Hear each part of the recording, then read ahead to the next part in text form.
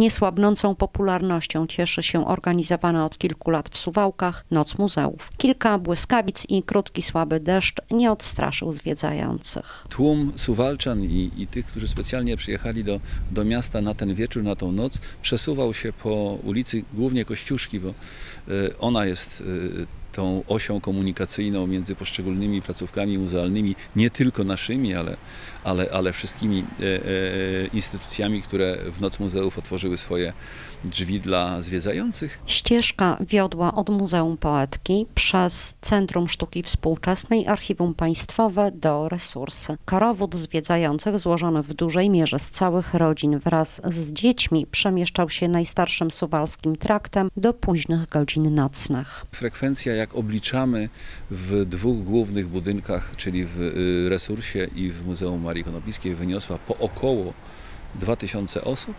To takie wyniki z najlepszych, z najlepszych lat. W Centrum Sztuki Współczesnej zawsze jest troszkę mniej tych osób, ale też myślę, że do 1000 osób y, odwiedziło y, tamten obiekt. W związku z tym no, 5000 to oczywiście w dużej części te same osoby, ale, ale 5 tysięcy, frekwencja 5 tysięcy osób e, w Suwałkach na jakąśkolwiek imprezę, myślę, że mówi sama za siebie. Dużą popularnością cieszyła się propozycja Muzeum Okręgowego kierowana do najmłodszych. W tym roku milusińscy wzorem Alfreda Wierusza-Kowalskiego malowali obrazy. Nasza kamera na warsztatach pojawiła się na ich początku i nic nie zapowiadało, że zajęcia przeżyją prawdziwe oblężenie. Już w połowie wieczoru zaczęło brakować materiałów, zarówno na czym malować, jak i czym malować.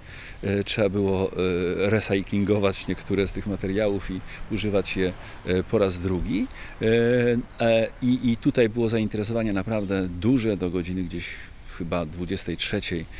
e, Dzieciaki siedziały, malowały, rysowały. Oferta dedykowana dojrzalszym miłośnikom sztuki również cieszyła się dużym zainteresowaniem. Bardzo dużo osób przychodziło po to, żeby obejrzeć stałe wystawy.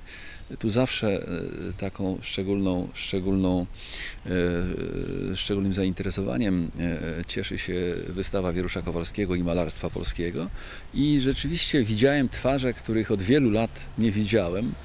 E, I bardzo dużo opinii e, takich bardzo pozytywnych e, o tym, że, że warto tu przychodzić, że jest to dobre, że jest to dobre malarstwo, że, że taki wieczór, w końcu dla każdego wolny wieczór i można go rozegrać i spędzić w każdy inny sposób, tutaj ze sztuką, z dobrą sztuką jest dużym przeżyciem.